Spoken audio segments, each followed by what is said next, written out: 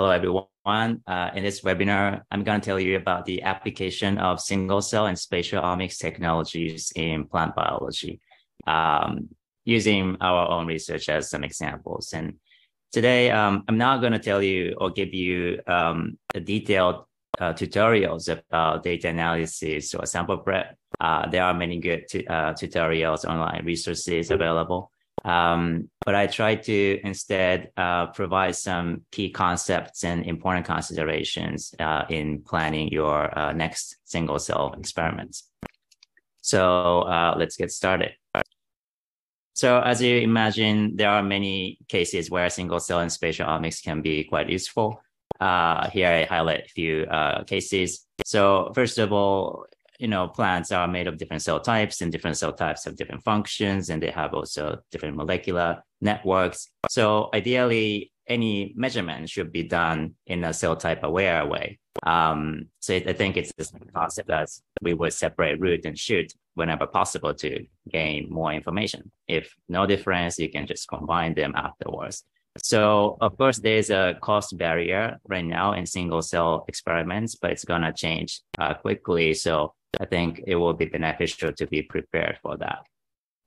And perhaps more complicated scenario would be when you deal with various cell states and identities within the same uh, developmental cell type.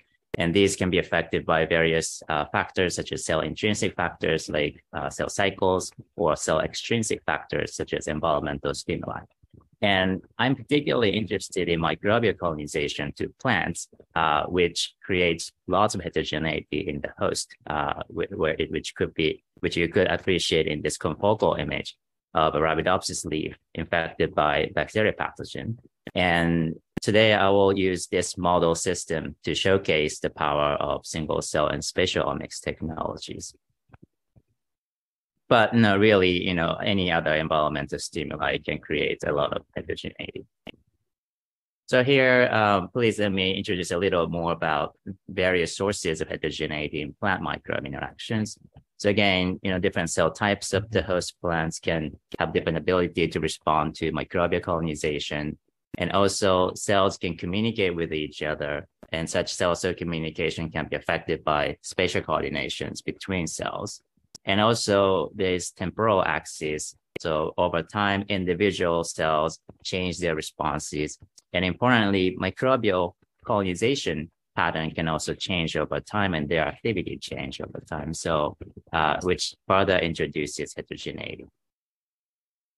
And, and then again, this can be applied to, you know, other environmental stimuli, which are them by themselves are quite heterogeneous. So to tackle such tissue heterogeneity, new technologies. Um, so in, in, this slide, I will highlight, you know, what new technologies uh, offer to tackle such heterogeneity problem. So uh, I, I, use uh, some analogy here. So, you know, now you can study individual cells as uh, building blocks of the tissue. And the first thing you might want to do is to classify cells into populations, um, the functional units, in this case, cell types and states.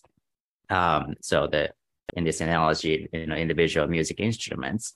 And then uh, you can ask what kind of sound each instrument can make. That's a gene expression or protein expression potential of different cell types or cell states. And then you can also ask how these instruments are played. That's the gene regulatory mechanisms or uh, any post-transcriptional modifications at the single cell level. And after understanding each instrument in isolation, you can put them back to the actual context they are played uh, with spatial and temporal uh, information to, to understand the symphony. So that's you know what it, what's actually happening in the tissue. And new single cell and spatial omics technologies offer uh, opportunities to create different kind of cell atlases uh, in plants or any other organisms. So at each step, so cell type atlases and gene regulatory atlases and spatial temporal atlases. And I'm going to quickly go through uh, these uh, different kinds of applications. So for the cell type atlasing, the most commonly used technology is single cell transcriptomics, uh, which has been instrumental for creating uh, a lot of different cell uh, cell atlases in different organisms. Here I'm showing a few recent examples. Um, and one important consideration in single cell RNA-seq in plants is that whether uh, we should use protoplast or nuclei. Um, and there are pros and cons for both approaches. So for protoplasting, uh, you, you know, the good thing is you get whole cell information and which means you get more genes and more molecules. But the downside is it's known that the protoplasting protoplast isolation introduces a lot of gene expression changes. Thousands of genes can can change, and also uh, protoplast isolation can be difficult for some tissue types. And plus, you know, the plant cells have variable uh, sizes, so which could uh, further introduce biases during uh, library prep. On the other hand, uh, nuclear approach is good in, in a way that the isolation protocol can be more versatile. Um, and also the nuclear isolation can be done more quickly and also on ice. So it can, uh, uh, low, which can lower the background, you know, the gene expression or protein expression changes. Uh, however, um, you will lose the, the whole cell uh, information. So it's, you know, it's just nuclei although it can be considered as nascent transcripts. Um, and also, you know, you, you lose cytosolic RNA, so you get shallower uh, data, which I think could be overcome by uh, collecting, uh, sequencing more uh, nuclei. So I think uh, you need to be aware of these pros and cons. And in our lab, we we mainly use the nucleus approach. So for the atlasing, so we have uh, created recently a single nucleus transcriptome atlas of Arabidopsis that covers the entire life cycle of the plant. So we we took uh, many different tissue types in, uh, from across different developmental stages, um, and we uh, have generated. Um, we, we have sequenced over 800,000 cells uh, from those different tissues and we identified uh, 183 major clusters and over 600 subclusters. So there are distinct cell populations with uh, distinct transcriptome patterns. And um, many of the clusters could be annotated as, you know, with uh, known cell types and cell states, but there are many other cell uh, clusters um, that are that are not annotated yet. So it's it's astonishing, you know, how many um, cell populations we could identify. And I think that's the power of single cell sequencing study. And this data set can serve as a reference data set onto which we can add more uh, cells in the future from different conditions or different uh, mutant background and so on to understand how different cell populations operate in different uh, environmental conditions or you know what's the genetic um, uh, the molecular mechanism, molecular networks uh, in, in, in different types of cells, cell types. And then the next step is to understand the gene regulatory uh, mechanisms in each cell populations. And of course, the single cell RNA-seq can be useful in, in, in, in such a task, but you know, there are many other information we can uh, use.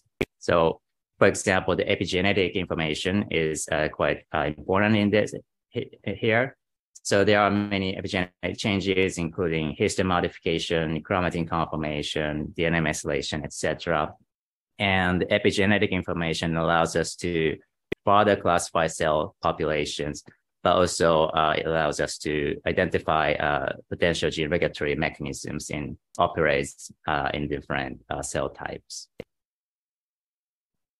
And among many epigenetic uh, profiles, the most commonly studied um, epigenetic changes in plants at the single cell level so far is chromatin accessibility. So as you might know, the chromatin can either be closed or open. An open chromatin region can be bound by transcription factors and cofactors to uh, activate or replace genes. So if you look at the open chromatin regions, you can uh, get potential regulatory regions.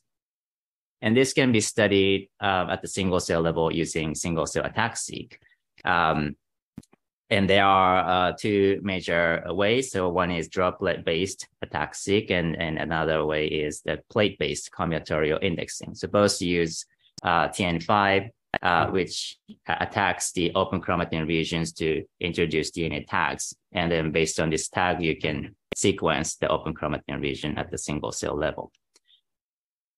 And the single cell ATAC-seq allows you to identify uh, accessible chromatin regions or ACRs uh, that are cell type specific. And, and, you know, and such information cannot be gained in the, the traditional bulk uh, ATAC-seq. So, so after getting, you know, the epigenetic information at the single cell level, uh, then an important task is to integrate, you know, gene expression and epigenetic changes at the single cell level uh, but it's known to be very challenging. So such integration um, problem, some people call it as a diagonal integration because you have to integrate both cells and also features from separate single cell RNA-seq and single cell ATAC-seq data.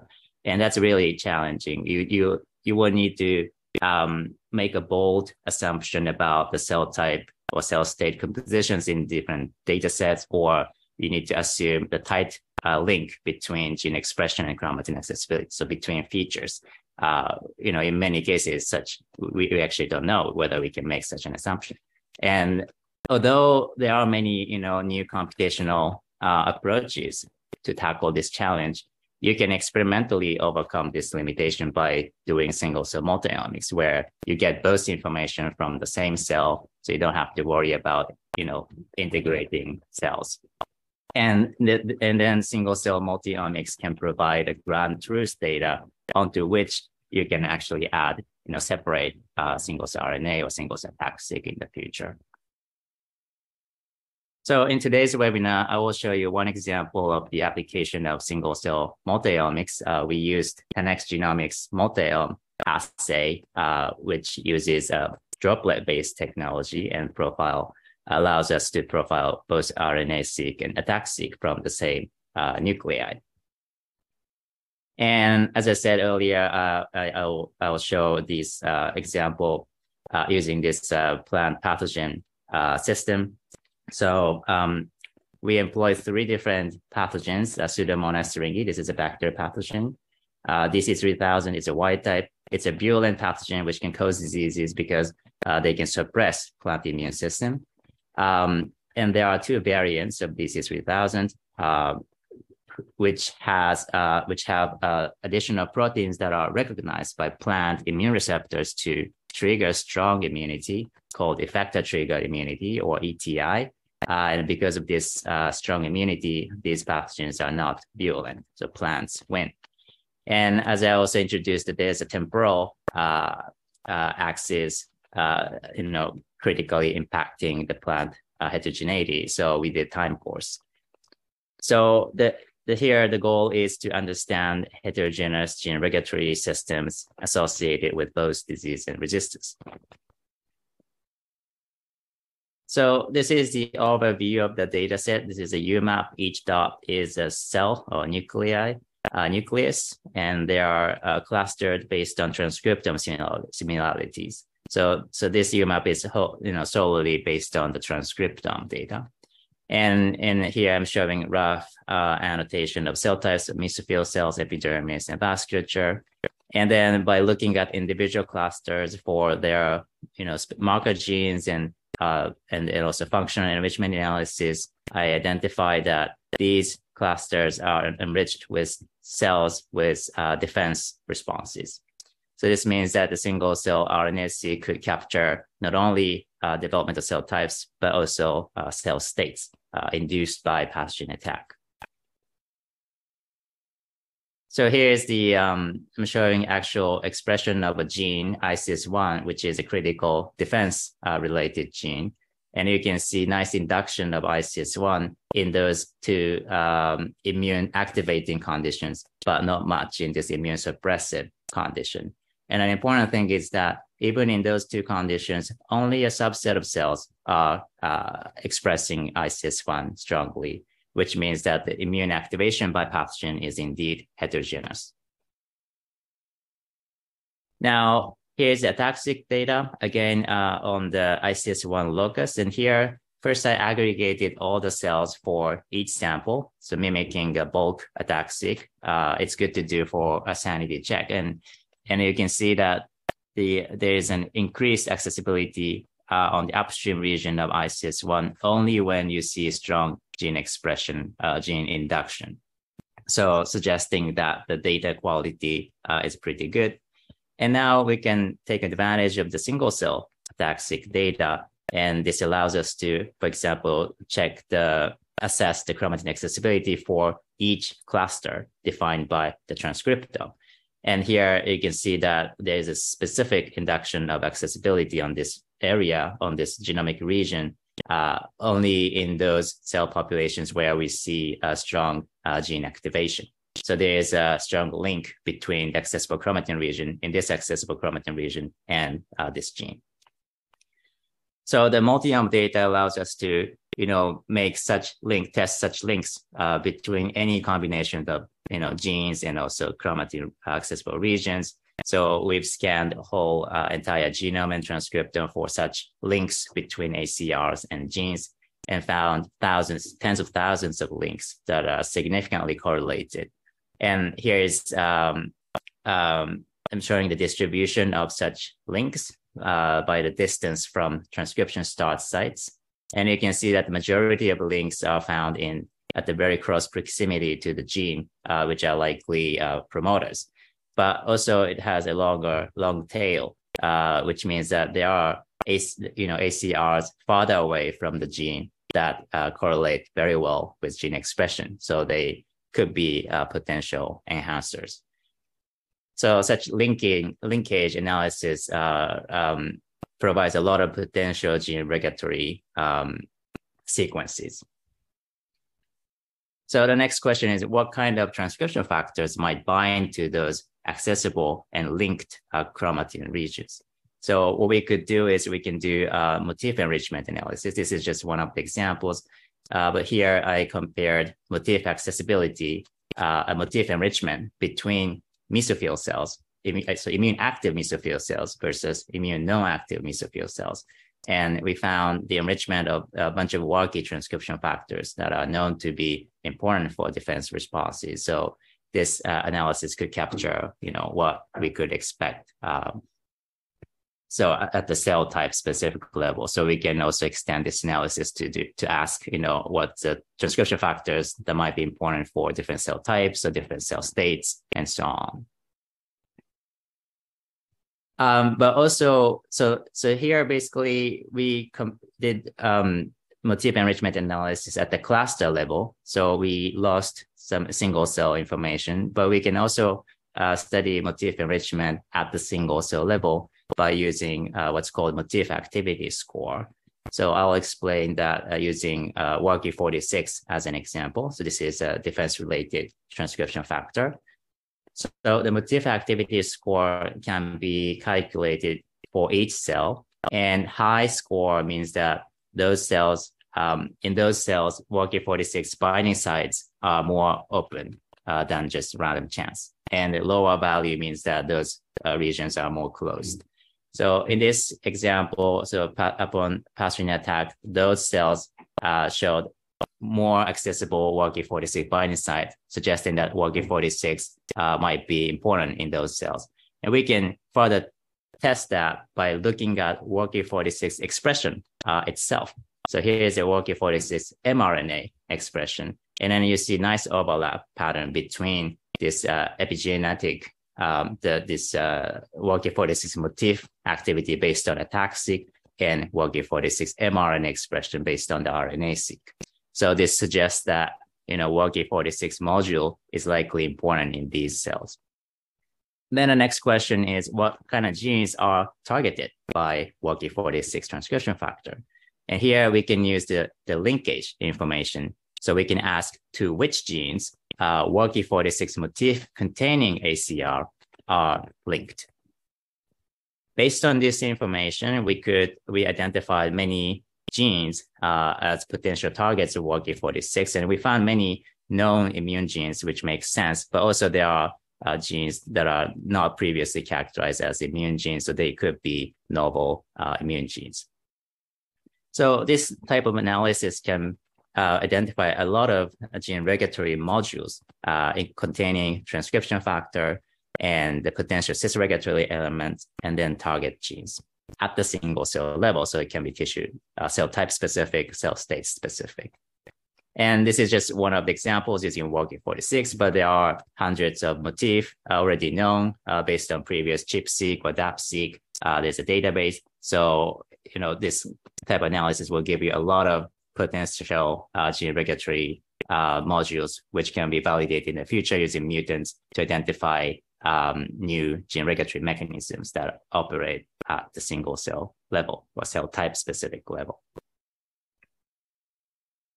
So I just, you know, showed you uh, one example using ATAC RNA multi-omic, but there are many, many other multi-omic technologies.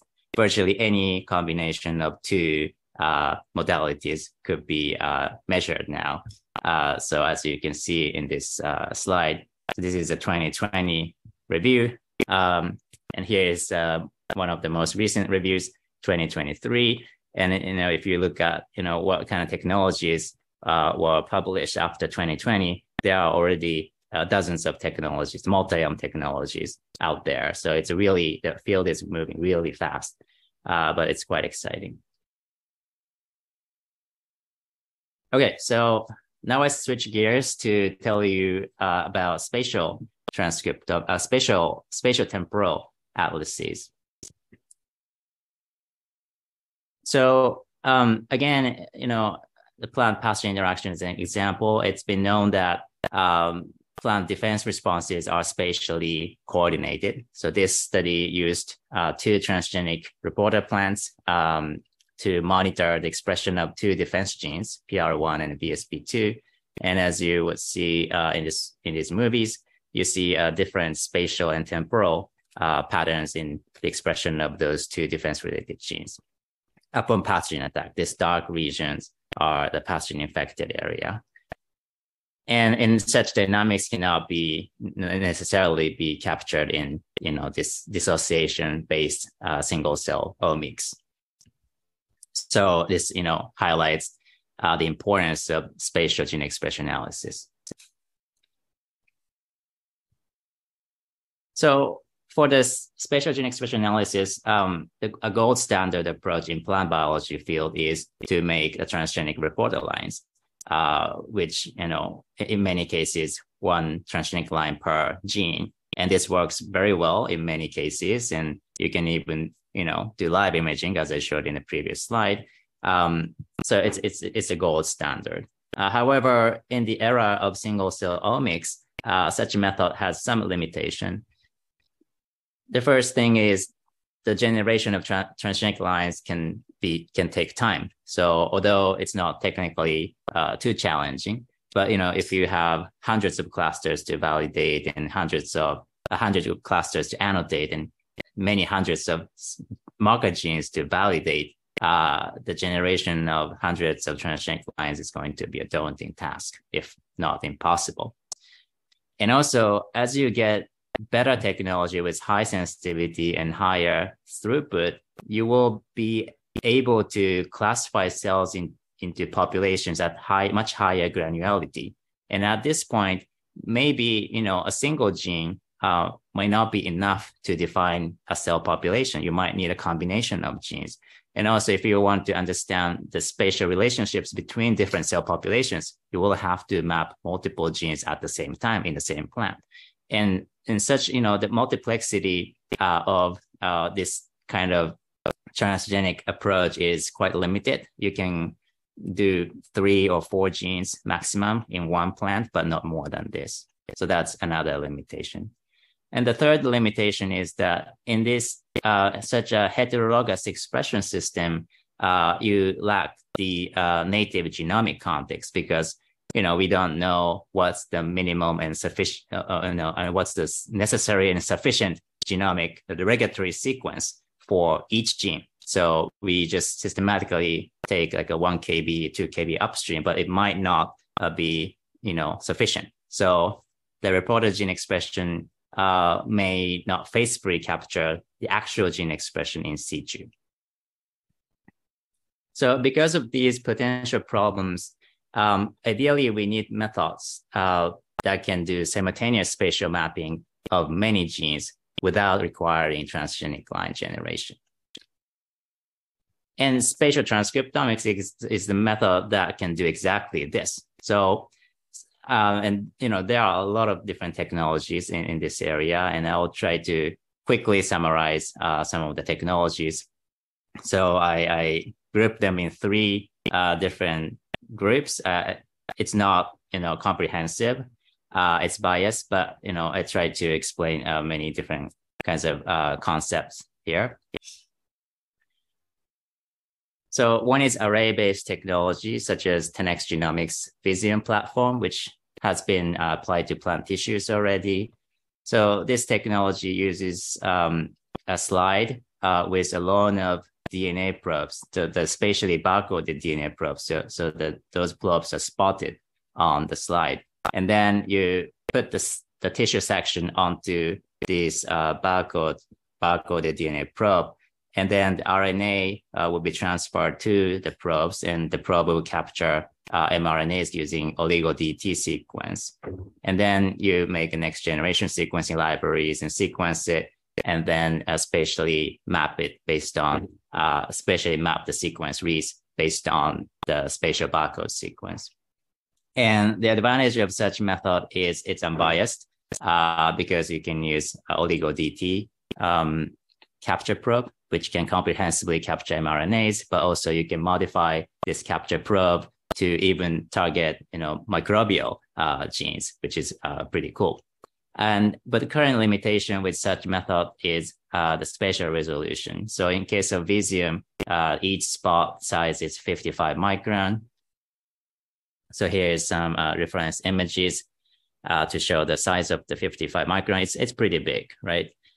Um, but there are many other methods uh, being developed with uh, smaller and smaller uh, spot size, uh, you know, 10 micron for Slide-seq or, or down to submicron for uh, more recent technologies. And stereo-seq uh, has been applied to plant tissues.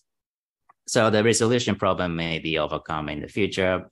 Also, I, I don't mention you know much today, but there are also many computational problems in clustering those cell uh, those spot barcoding barcoded spots or uh, deconvoluting cell types from each spot. But you know this is also an active area of research. So in uh, several years, those limitations could be overcome. Another approach is single molecule fish based. This is a microscope based approach, and and also uh, there are many different kinds of approaches. And uh, the advantage of single molecule fish based uh, technique is it has high spatial resolution because it's microscope based. And also single molecule fish is known to uh, known for its high sensitivity, the you know high capture efficiency. And some methods are uh, quite scalable. Uh, here I highlight two methods, MERFISH and seqFISH Plus, which have both achieved 10,000 uh, gene detection in the same experiment in the same tissue. Although many other uh, methods are uh, much lower throughput, so that's that's one of the um, downsides. So it's it's a targeted approach, not unbiased. And also, the if your your sample is big, uh, the imaging time can add up, and so it can take a long time, and uh, you know it will generate a, a huge amount of data. So each experiment could be a terabytes of images. Uh, so the data management can be a challenge. And the third category is in situ sequencing. Uh, it also comes with uh, many flavors, uh, but the key feature is that the target mRNA will be replaced by DNA uh, by hybridizing, uh, you know, barcoded DNA probes or by reverse transcription to make cDNA from mRNA. And then those DNA uh, DNAs are amplified hundreds of times in situ. And then the barcode sequence or cDNA sequence itself uh, is read in situ by different chemistries, such as sequence by ligation, sequence by synthesis, or sequence by hybridization. Um, in fact, the sequ- sequence by synthesis is the chemistry used by the Illumina sequencer. So that's what's happening in, in the Illumina box. So in a way, you know, these methods are like, you know, Illumina sequencing in the actual tissue. So the advantage of this approach, this in situ sequencing approach is again, this is a microscope based. It has a high spatial resolution compared with array based. Uh, and also, as I mentioned, uh, you know, the target DNA is amplified uh, many times, so it will give you a very strong signal, so high signal noise ratio, which might be important for deep tissue imaging or you know imaging uh, in highly autofluorescent uh, samples, such as plant tissue. And it can be unbiased in, in case of direct sequencing of cDNA, uh, which is done in FISSEQ. Um, however, compared with single molecule fish, uh, the sensitivity is uh, lower uh, because you will lose many molecules during the you know the reverse transcription and other steps. So I just you know quickly um, went through uh, different types of technologies, and I think uh, important considerations in choosing an appropriate platform for you know different projects would be uh, you know knowing what spatial resolution you need uh, and what is the size of the sample, and also whether you want targeted or more unbiased approach, and also very importantly, uh, whether there is a commercial kit available. Um, so for all those three cate- no three categories, array, single molecule fish, and in situ sequencing, there are uh, commercially available kits. Uh, so I, I, think maybe in the, in the near future you can uh, more freely uh, choose appropriate platform for your for for your experiments. So so now today uh, I will give you one example uh, in the use of spatial transcriptomics. Um, so we use the MERFISH, uh, which is a single molecule fish uh, based approach. And again, we use this plant pathogen interaction system. Uh, we chose MERFISH because it has uh, you know high spatial resolution, the single cell or single molecule level resolution, which we thought to be critical because as you can see here, you know, the, the heterogeneity created by pathogen infection can be quite, you know, quite a lot and, you know, the, and should be resolved at the single cell level because plant microbe interaction happens at the single cell level original initially.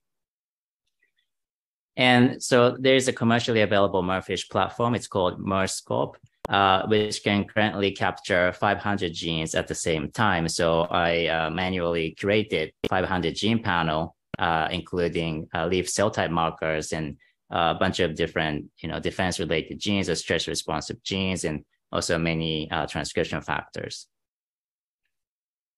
And we have done time course MERFISH using pathogen infected uh, Arabidopsis leaf, using the time time time time points completely matching to uh, the ones used in uh, the multiome analysis that I showed earlier. So here uh, I'm showing all the transcripts detected in each sample. So there are millions of transcripts of 500 genes. So it, it's a it's a massive amount of data. And here I'm showing one example, uh, uh, ALD1. Uh, this is a defense gene, and you can see nice induction of this gene over time and with some spatial structure. And you can also look at, you know, the multiple genes at the same time in space. So these are three genes. Uh, all, all, all of them are sort of related to uh, defense. So we didn't know much about their spatial coordination, but it turned out that you know they they are expressed in different cells and with some sp- specific spatial organization. So you know looking at this could you know um, tell us about potential cell cell interactions you know between cells uh, in different uh, sort of immune states. So that's pretty uh, exciting to to see this. And so, so looking at you know each image uh, will be quite informative, but if we can go step one step further to do more quantitative gene expression analysis at the single cell level. And for this, a critical step is cell segmentation. So in this study, uh, we trained a deep learning model to predict cell boundary structure purely based on the transcript distribution. And this segmentation allowed us to create a cell by gene matrix, which is the same data type as the single cell RNA-seq, but each cell has a spatial coordinate X, Y, Z. In this case, Z will be quite small because you know it's a tiny, uh, the thin tissue section. Um, now, you know, it allows us to do single cell quantitative analysis. So we can, for example, uh, make a UMAP to do clustering. And also we can combine, integrate all the data set, uh, all the MERFISH data set with single cell multiome data set using the 500, the shared 500 gene to make a unified map of all the cells uh, uh, captured by single cell multiome and also MERFISH and and the integration worked pretty well as you can see in this two color UMAP. So they are the MERFISH and multi cells are nicely integrated. And such integration allows us to use the MERFISH cells as spatial anchors to spatially map the multiome uh, data onto the tissue. And what's good about this is that now you can spatially map uh, the whole transcriptome, not only 500 genes, it you know, it's uh, 20, 30,000 genes can be uh, spatially mapped. And also you can map um, um, the epigenome information, the ATAC-seq information can be also mapped uh, uh, on the tissue. So this just to show that, you know, such um, spatial mapping of multi-omic information uh, actually works. Uh, we first tried to map those three major cell types identified in the multiome. So epidermis, mesophyll, and vasculature. And after data integration and label transfer, we spatially mapped those cell type labels and which resulted in this kind of picture. And you can see a very nice structure of vasculature. And then many of them are uh, mesophyll and some epidermis on the periphery. So this is exactly what we would expect uh, from you know our tissue section. So this indicates that uh, the data integration and spatial mapping uh, is working. So now we can try to map many other molecular features. For example, uh, if you remember, uh, I showed you that you know there are many uh, gene regulatory modules identified in the multiome data, WRKY46 as an example. So we could, uh, for example, spatially map the WRKY46 motif activity. So this is epigenetic epigenome information. And you can see heterogeneous distribution of cells with high WRKY46 motif activity. You can also map one of the predicted target genes of WRKY46, ALD1, which also showed heterogeneous expression pattern. And the, these two actually overlap pretty well, which means that you can spatially map the gene regulatory uh, uh, modules predicted by the multiome. So I'm not today. I'm not going to show you any you know biological uh, conclusion, but you know this will allow you to to interrogate the, the molecular mechanisms at the single cell and spatial uh, resolution. So um, as I showed you, there are a lot of opportunities um, using spatial transcriptomics, um, but there are also limitations with currently available, I mean, commercially available technologies. And I think the, the biggest um, limitation is that you have to make tissue sections. So typically 10 micron, very, very thin tissue section is needed to do any sort of commercial spatial transcriptomic assay. And first of all, the sectioning is not easy, especially for uh, tiny plant tissues such as Arabidopsis root tip, which is very important uh, tissue type for plant biologists. And also, second, uh, if you cut a section, you're going to lose all the rest of the tissue, which may contain important cell types or maybe microbes, you know, in my case.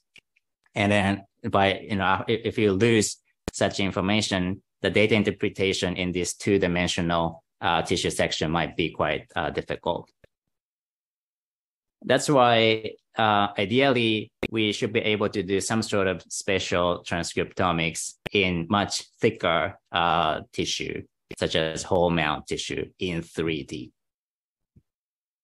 And so that was the motivation behind uh, the development of new technology called PhytoMap. So we PhytoMap is the technology uh, we developed for uh, multiplex and single cell 3D spatial gene expression analysis that can work in whole mount plant tissue. So PhytoMap is um, build up on the in situ sequencing uh, technologies. So that's a third category I introduced today. Um, so you use fixed plant tissue, and then, as I said, uh, the key step is the replacement of mRNAs with DNA by hybridizing um, the DNA probe with a gene-specific barcode sequence. And the, such DNA probes are amplified in situ for hundreds of times and then tightly fixed. So it completely replaces mRNA. And then you perform single molecule FISH targeting those uh, gene specific barcode sequence. And as I said, you know, the barcode sequences uh, have been amplified hundreds of times. So it, it will give you a very strong signal, which is critical for the deep tissue imaging, the whole mount imaging, and also imaging in, you know, highly, potentially highly autofluorescent uh, plant tissue. So here I'm showing the example of the actual signal you will see in PhytoMap experiment in a small uh, area. And so each spot is a single molecule, single mRNA molecule derived, and different color means uh, different genes. And so it, it goes through, you know, from top to the bottom of the tissue. And after each imaging, you can strip away the signal while still keeping the DNA, uh, amplified DNA probe in, in, in situ. And then uh, using exactly the same tissue, uh, you can perform uh, another round of FISH targeting different set of four genes. And you can, you know, do this again and again until you image all the genes. So here I'm, I'm showing um, the actual uh, 3D uh, whole mount Arabidopsis root tip uh, with some, you know, put um, cell type marker genes targeted. So uh, we use Arabidopsis root tip because it's a difficult tissue for sectioning. So for commercially available spatial transcriptomics. And I hope, you know, I, I hope that you can appreciate some specific signal coming from different uh, regions or cell types from the root. Here are some blown up images. So uh, with cell wall um, staining, so here you can see the signal uh, is coming from different layers, uh, different cell types in the root tip. So the PhytoMap is uh, quite uh, target target specific. And one uh, application of PhytoMap is that I think it can dramatically accelerate the cluster annotation and, and marker gene validation in single cell RNA-seq. So if you have this single cell data, and if you want to to annotate clusters or validate de novo identified marker genes, I think you know, the popular approach is to make transgenic lines um, one by one. But PhytoMap allows you to grab, you know, dozens of genes at the same time and do one shot experiment uh, to to validate all those genes at once. So even without making transgenic lines, so it can be done in in a week or or two. And in this preprint, um, we've demonstrated such uh, use case, uh, which worked pretty well. It uh, predict it with, you know, it detected uh, the de novo identified uh, root tip marker genes uh, from an expected area of the root.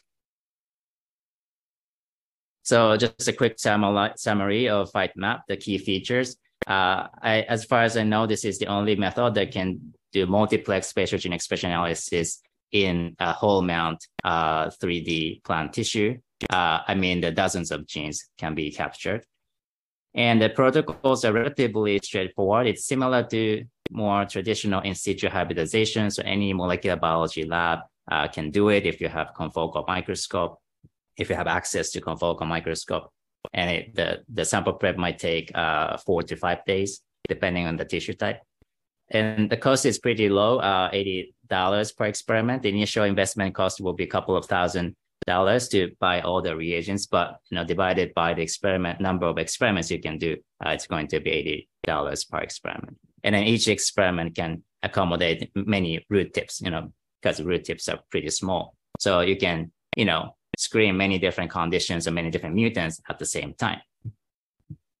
And and also very importantly, it's transgene free, uh, meaning that it could be applied to any existing mutants of Arabidopsis or any other uh, plant species, uh, including non-model plant species where the generation of transgenic lines are uh, difficult or not possible right now. Okay, so that was PhytoMap. And uh, before finishing, I also wanted to mention that there are emerging technologies that allow spatial epigenomics or multi-omics. So here I highlight just one uh, type of uh, assay. It's called DBIT-seq because I didn't mention earlier. So DBIT-seq is also based on tissue sections uh, right now, uh, but it allows you to do some pre um, uh, sample pre processing, so uh, including antibody labeling or TN5 tagging. And this allows you to, to, to capture the spatial expression of protein, uh, spatial pattern of protein expression, or uh, spatial ATAC-seq or cut and tag type of approach. The cut and tag is essentially a ChIP-seq. So, and then you can combine this with the spatial transcriptomics. So, so now you will be able to uh, capture both spatially resolved gene expression and also epigenetic changes or protein um, expression or you know the transcription factor binding and, and so on. So maybe in, in within a few years, uh, such type of application can be possible in plant tissue, which will be quite exciting. Okay, so uh, I just want to finish with sort of summarizing or giving you a perspective uh, that I think the single cell and spatial omics technologies have been accelerating the integration of genomics and cell biology in plant science. And as, as we all know, both genomics and cell biology has have been quite important and powerful, and many people have combined, you know, those two technologies. Um, but you know, usually the you know by while combining these two technologies, you know, we we we lose a lot of information. For example, when you do bulk RNA-seq to you know find a couple of interesting genes and then do some cell biology, the microscope experiment. That's uh, some popular experiments, but the question is, what about the, all the rest of the genes? So that's the information loss. But the spatial and single omics technologies will minimize that information loss by, you know, you know, enabling us to capture everything at once. And and this really, you know, enables us to do more data-driven, um, you know, science, they, you know, hypothesis generation, hypothesis testing, and at the intersection of genomics and cell biology. And I'm very excited about this. And uh, hopefully this webinar give you some ideas about uh, your next uh, single cell or spatial omics uh, experiments. So with this, uh, I want to thank to everybody um, involved in the project I introduced today, um, especially my uh, PI, Joe Ecker, for uh, giving me this opportunity. And uh, our uh, rotation student, Alex Mon- Monell, uh, has was spearhead, spearheaded the analysis of spatial omics data. And, and my colleague Travis Lee performed the sectioning of the Arabidopsis leaf, which is not easy at all. And I also thank uh, my colleagues, uh, Joanne Chory, uh, who allowed us to uh, use their great microscope, and also our collaborator, Ryan Lister and Marina Oliva. And I also thank all the funding and uh, thank you for your attention. And I, I am happy to answer any questions. Great. Thank you. Thanks a lot, Pasir. Thanks for a wonderful webinar. And those phytomap images were really fascinating. Okay, so so without uh, wasting any time, so I'll start uh, asking the questions. So first question is, do you usually validate the cluster annotation in single cell RNA-seq like by RNA in situ hybridization? And there is any possible possible method to validate the cluster annotations for single cell ATAC-seq? Yeah, so um, I mean, in many cases, if you know, very confident marker genes are available, we can just rely on the known marker genes to annotate uh, or annotate uh, your cluster. It's not really usually possible to uh, validate every single cluster you identify. So unless you know the cluster is really important for your uh, study. Um, but fight, I think PhytoMap will be quite powerful in really, you know, accelerating such uh, cluster annotation uh, problem uh, as I introduced. And for the second question, the uh, validation for the ATAC-seq based cluster. Um, so in our case, we since we used um, the multiome, so I always use RNA data to perform clustering and do annotation. So we didn't rely on ATAC-seq data for any uh, clustering or um, you know the um, cluster annotation.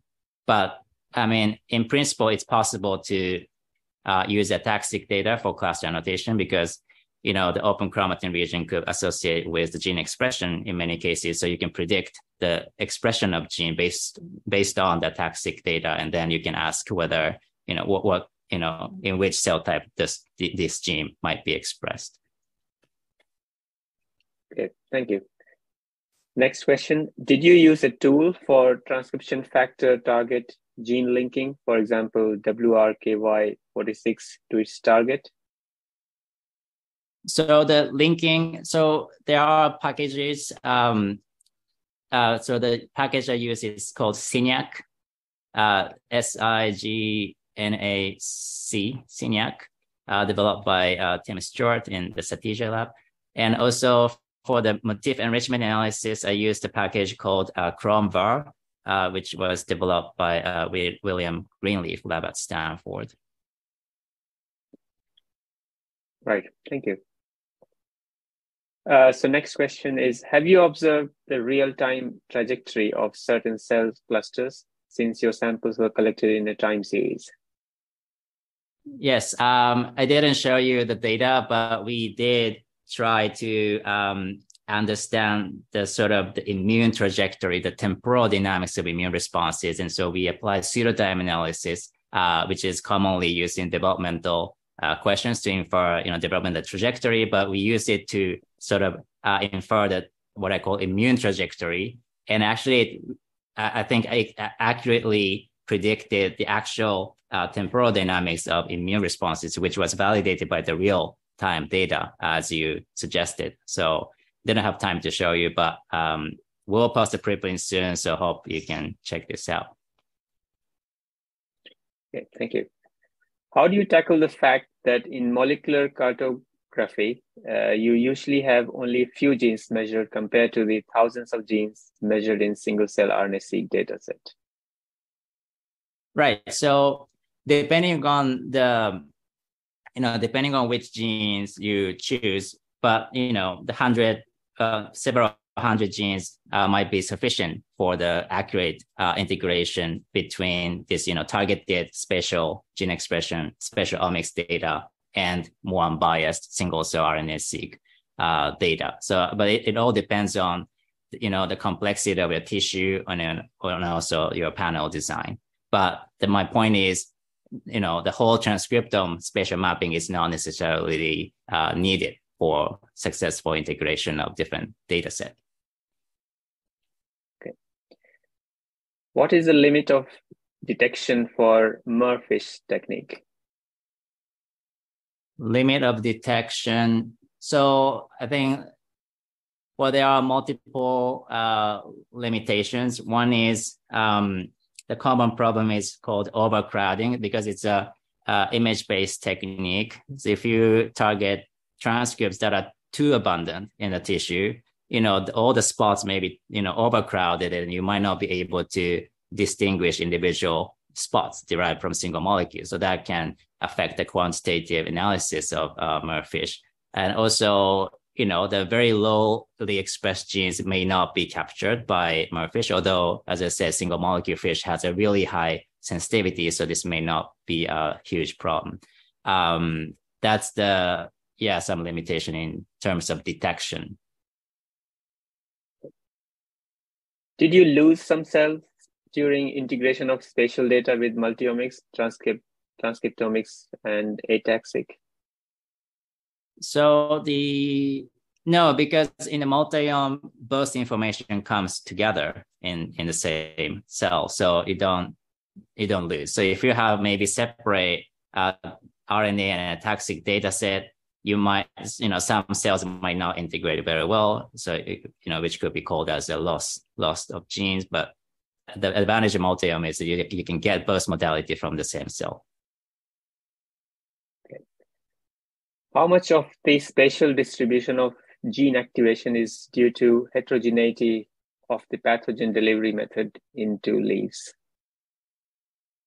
I think the pathogen distribution explains a lot. Um, actually, we didn't show today, but um, we also targeted pathogen genes using MERFISH to try to locate where the pathogens are, which was uh, successful. And then it showed that, you know, indeed, pathogen distribution explains a lot about the spatial heterogeneity uh, um, of immune gene activation. That's a, that's a very interesting question. Okay, so next question is, can such a single cell analysis be technically performed on plant suspension cultures?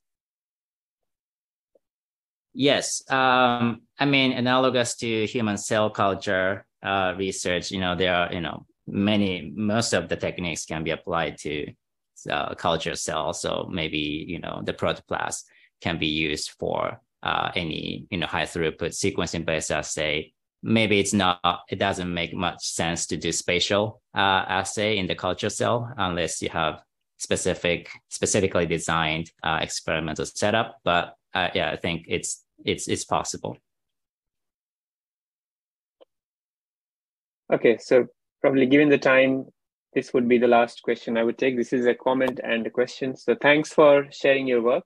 I enjoyed the seminar a lot. One question for the microbe plant interaction section. Could you map the spatial information of pathogen in the data? For phytomap, if, if applied to leaf tissue, would you expect the autofluorescence of chloroplast affect, affecting the signal? Yeah, uh, so the first question, first part has been already answered. So it's possible to map pathogen distribution as well. That's so the dual mapping of plant gene expression and pathogen will be a super uh, exciting future area. And for the second part, um, in the leaf, the chlorophyll autofluorescence is not a big issue because during the fixation and other processes, actually the chloroplast will be destroyed and you know melt away. So there's no chloroplast chlorophyll autofluorescence. Uh, the major source of autofluorescence will be the cell wall, uh, which could be a problem, but again, because the target will be amplified many times, then you know, which will give you a strong signal. And usually, I didn't ex- experience any uh, problem uh, from autofluorescence in the leaf or root. Okay, thank you again for, for today's webinar. And thanks a lot, everyone, for joining today and asking uh, so many interesting questions. Bye-bye. Thank you.